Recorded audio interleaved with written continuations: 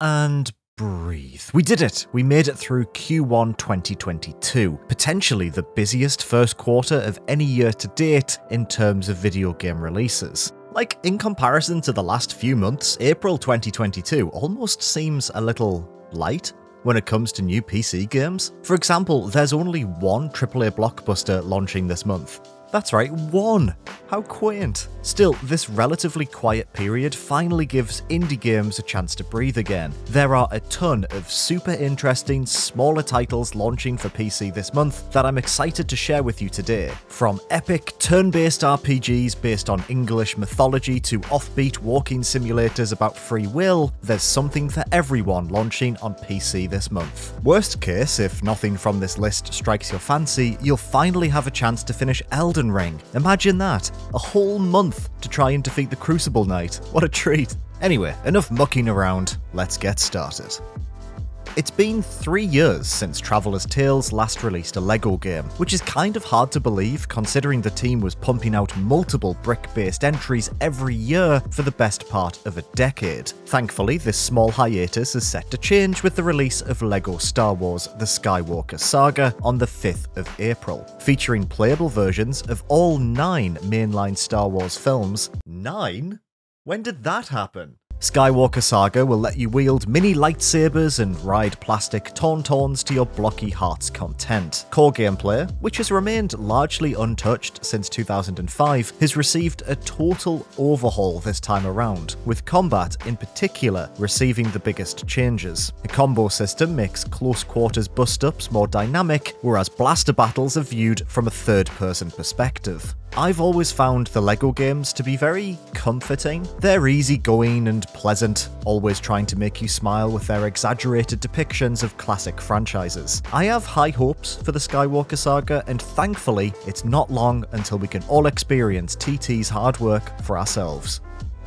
Evoking classic point-and-click adventures from yesteryear, Chinatown Detective Agency opens for business on the 7th of April. As private investigator Amira Darma, it's up to you to solve a number of high-profile mysteries as you travel the world in search of answers. Intriguingly, clues aren't just limited to things you can find in-game. Indeed, Chinatown Detective Agency will seemingly task you with doing your own research, searching the actual internet for things like airport codes or real-world quotes, detective games have always struggled with ways to make a player feel like an actual sleuth, with the genre's best allowing you to uncover details organically to piece together solutions in a way that doesn't feel scripted. Could the answer be as simple as asking you to alt-tab away from the game to perform a Google search? I'm excited to find out.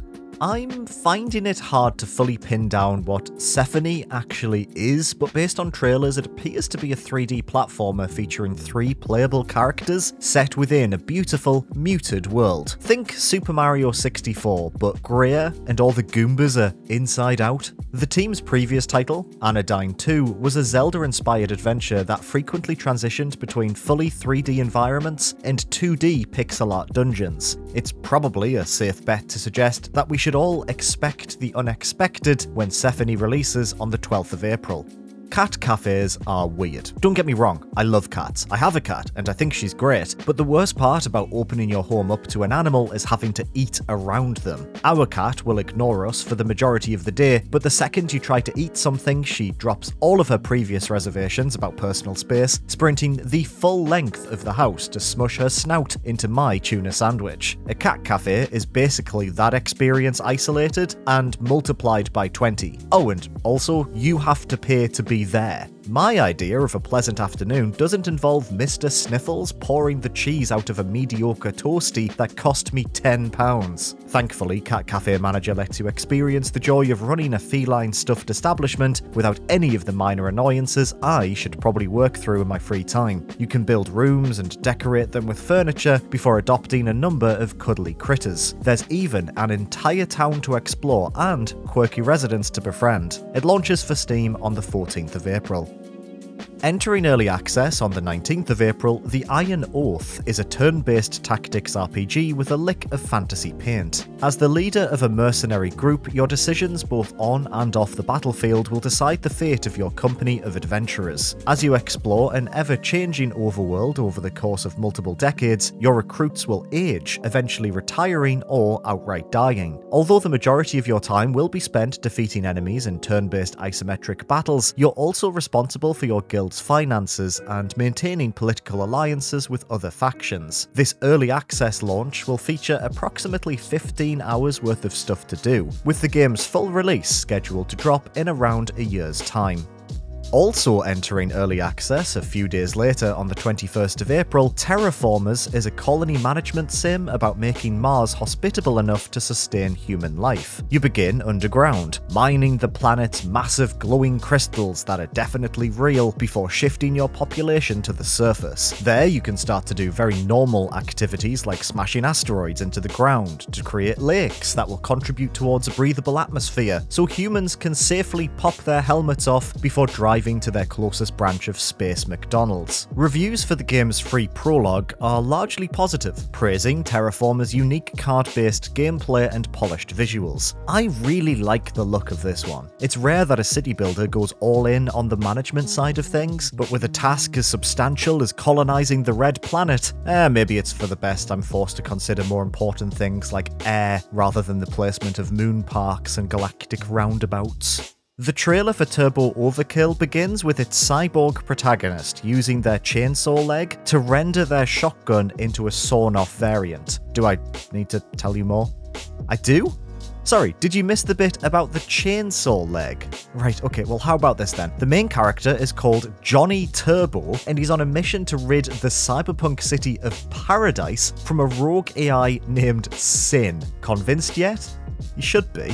I'm a sucker for a big dumb shooter, and they arguably don't come as big or as dumb as Turbo Overkill. Players are able to navigate battlegrounds with an impressive amount of fluidity, no surprise considering the developer cites Apex Legends as a big influence, with Mr. Turbo capable of sliding and dicing cyborg cultists with his chainsaw leg like an ice skating butcher. Weapons are equally as rad, with all Johnny able to wield huge miniguns, devastating flamethrowers, and black hole creating shotguns. It all looks pleasingly ridiculous. The 22nd of April can't come quickly enough.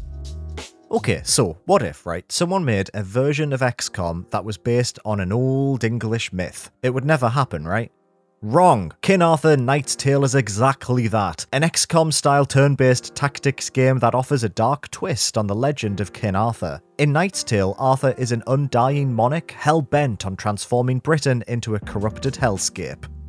Well, more than it already is. I suppose. Ha ha, how dry. As Sir Mordred, it's your task to lead a gang of knights on a quest to kill Arthur and lift the curse he's inflicted upon this green and pleasant land. Battles are your traditional XCOM fare, with units able to travel certain distances across the battlefield before whacking enemies with big swords. Knight's Tale has been in early access for a spell since it was fully funded on Kickstarter, garnering a bunch of very positive reviews in the meantime. The Stanley Parable Ultra Deluxe has been delayed so many times at this point that it's hard to distinguish whether or not this is an actual product that will eventually be released, or if this whole pre-release period has been in itself some kind of meta commentary. The recently revealed release date of the 27th of April appears to be concrete this time, but the team over at Crows Crows Crows are a tricksy bunch. You should always question authority, after all. I learned that from a video game I played 10 years ago called The Stanley Parable. For those not in the know, The Stanley Parable is a hilarious reflection on video game design that pits the player against an omniscient narrator by questioning what the narrator asks of you, going through the door on the left instead of the one he suggested on the right, for example. The game can shoot off into a number of wild directions, each one resulting in a completely different ending. Some are earnest, some are reflective, pondering existential questions about free will, some are just really daft. Although the game is sort of a re-release of the 2011 version, it's also kind of not. Crows Crows Crows promise new twists and endings to discover as you once again assume the role of the titular Stanley. After spending a year in early access, Chill Puzzler Dorfromantik will launch on the 29th of April. Dorfromantik was one of my favourite games of 2021, allowing players to construct miniature landscapes using a finite stack of randomly drawn tiles. Additional tiles are required by completing small quests that task you with placing matching types of tiles next to one another, resulting in sprawling rivers and dense forests that spiral out from all corners of your ever-expanding environment. It's a truly compelling thing to play around with, its relaxing vibes disguising an intensely addictive experience that is hard to walk away from. A raft of new features have been added to the game since launch, including new biomes and a much requested undo button, but the developers insist that 1.0 is just the beginning. I can't wait to see what exciting new delights they have in store for this truly sensational game. So there we have it 10 great games launching for the PC in April 2022. What are you planning to play this month? Something old? Something new? Something borrowed, something blue. Let me know such a terrible line. Let me know in the comments below. Thank you for watching the video, take care of yourselves, and I will see you next time.